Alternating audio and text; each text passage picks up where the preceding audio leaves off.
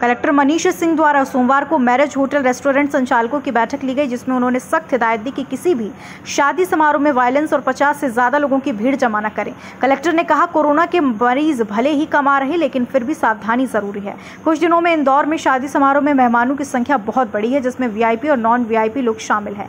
इसी को दिशा निर्देश के लिए आज बैठक आयोजित की गई चूँकि इन सभी संस्थानों में शादी के अलावा जन्मदिन, किटी पार्टी, एनिवर्सरी के कार्यक्रम आयोजन किए गए। इस तरह की अगर वायलेंस और ज़्यादा से संख्या में लोग रहे तो होटल संचालक अपनी सर्विसेज़ देना बंद करें। साथ ही सभी संचालकों को कलेक्टर मनीष सिंह ने हिदायत देते हुए कहा कि रोज़ाना एक माह तक अपने संस्थान की वीडियो फुटेज अपने नजदीकी थाने या पुलिस कंट्रोल रूम में अनिवार्य तौर पर देंगे, ताकि वीडियो के माध्यम से पुलिस द्वारा उचित कार्रवाई की जाए। इस दौरान किसी भी संस्था द्वारा लापरवाही बरती तो संचालकों को भी जिम्मेदार ठहराया जाएगा। फ़िलहाल शादी समारोह में 50 लोगों को सीमित संख्या की गई है।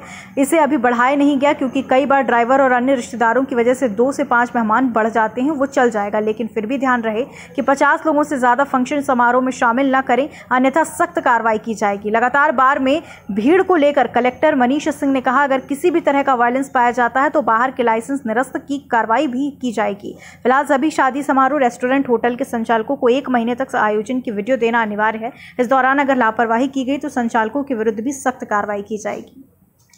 केवल वीआईपी शादियों की बात नहीं कर रहा हूँ, मैं सभी तरह की शादियों में पिछले तीन चार दिनों से स्थिति खराब हुई है, संख्या बहुत बड़ी है। सभी तरह की शादी में बारात में अगर आप देखेंगे तो उसमें वॉलेशन हो रहे हैं।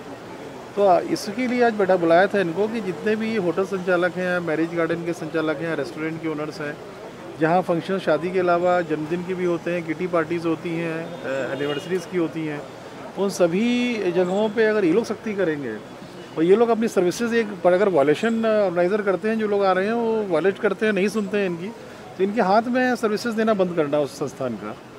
तो ये आज डिटेल चर्चा हुई है, इसमें ये भी बात हुई है कि ये लोग वीडियो रिकॉर्डिंग सभी की होती है, जितने भी संस्थान हैं ये, सब जगह सीसीटीवी फुटेज है, सब जगह कैमरास लगे हुए हैं, और सभी मैरिज गार्डन संचालकों के पास कैमरा का जो जो भी उनका स्टोरेज रहता है, वहाँ पर सभी फ़ीड उसमें स्टोर रहता है। उसकी एक कॉपी एक महीने तक ये लोग डेली थाने में देंगे। ताकि थाने में भी उसकी या पुलिस कंट्रोल रूम में जो भी आईटी सेल है उसमें पूरी एनालिसिस होती रहेगी उसकी। वायलेशन होगा तो उसको फिर पुलिस जो भी है उसमें कायमी करेगी अगर कायमी की स्थिति निर्मित होती है। तो न केवल संचालक जिम्मेदार होता है बल्कि जो ऑर्गेनाइजर है वो भी जिम्मेदार होते हैं उसमें। किस तरह की कार्रवाई होगी? तरह की कार्रवाई होता है तो। पचास की संख्या सीमित की हुई है अभी। अभी पचास से बढ़ाई नहीं है उसमें। और मैंने ये भी इन लोगों को बोला है कि वर वधु पक्ष की तरफ़ से अगर दो चार पाँच इधर उधर से ज़्यादा आ जाते हैं तो उनको वापस वापस ना करें उनको व्यवहारिक अप्रोच रख करके उनको उनको लिया जाए। किंतु पचास से सीमित है। सर क्या फिर मेहमानों की जवाबदार माना जाएगा इसमें? वायलेशन होता है तो मैरिज गार्डन संचालकों को बिल्कुल माना जाएगा। मैरिज गार्डन संचालकों को होटल ओनर्स को और जहाँ F L two F L three licenses हैं बार के वहाँ कुछ वॉल्यूशन होता है तो बार लाइसेंस स्थगित भी करेंगे हम लोग। सर मेहमानों की कोई पूर्व सूची आप लोग मंगा सकते हैं क्या? जिनको टीकाकरण हो गया इसकी पुष्टि भी कर ले हम साथ में।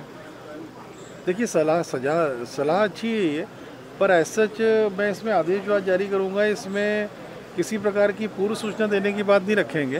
केवल इनको वीडियोग्राफी जो है वो थाने में देना अनिवार्य रहेगा सभी संचालकों को डेली बेसिस पे ताकि उसकी एक प्रेशर रहे संचालकों के ऊपर भी और पुलिस भी जाँच कर सके उसकी। पर इसको नियंत्रण करना ज़रूरी है सर। मास्क को लेकर मुख्यमंत्री ने भी कहा कि इंदौर में मास्क कम लोग लगा रहे हैं आधे लोग खुले